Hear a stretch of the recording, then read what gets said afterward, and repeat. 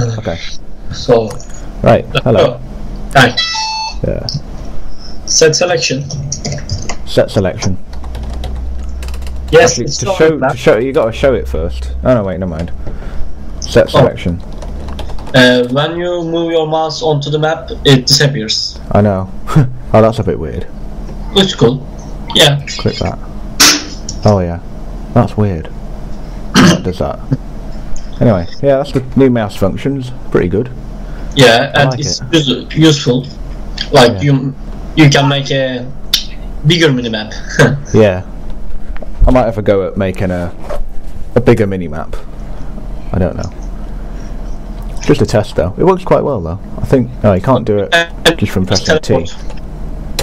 Do set selection. You can press escape as well to cancel selection. Yep.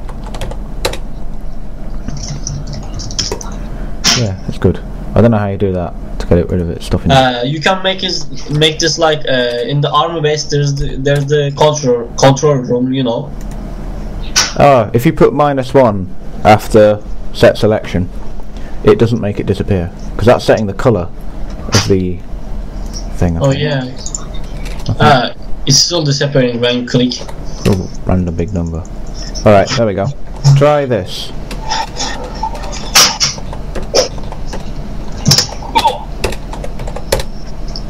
Oh, set. Oh, it doesn't really work. It doesn't work. Uh, oh, maybe you need the. I know what you need. You need the alpha channel as well, don't you? Because the alpha channel will be zero, so it'll be setting it to zero. So Oh, uh, yeah, yeah. When Oh. you, yeah, it's working, but um, I use this without six and zero. Okay. It just makes it like purplish blue.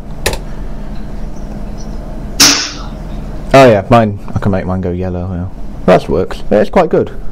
So Yeah. the parameter. I don't know if you're able to see this. Hopefully, you'll be able to see this script. If I go to where is it? Here we go. Text map viewer. Go find that. Yeah, right here. Set selection. So the second parameter is just uh, that's just a hex value of the number. That it does include the uh, alpha channel as well, so you can you can make it fade out or change opacity when you roll over a selection. Yeah, well, that's quite good. Yeah. I like it. Anyway, thank you, Kalcor, for the new update RC4. It's brilliant. I like it. I'm going to be making some nice things with that. Enjoy it, everyone. Goodbye. Goodbye.